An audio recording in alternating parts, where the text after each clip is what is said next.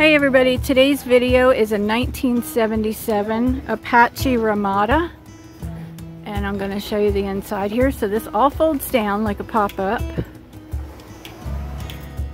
so it's easy to tow but when it's all opened up look how much space they have. Look here. Got an 8 track player.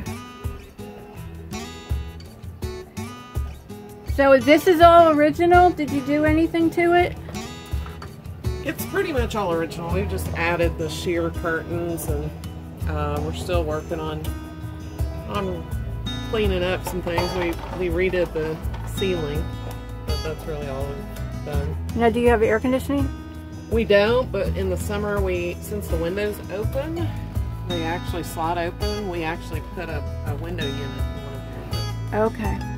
And this, does this pull out to another, yeah, Yep. so that's a gaucho, pulls Yep, out to a pulls bed. out to a and the dinette also makes a bed.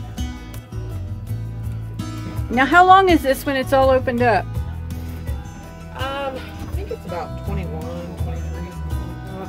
Yeah, it's, it's It's pretty, pretty 16 close, 14 to 16. alright, I want to show you this 8 track here. I Haven't seen that in a long time.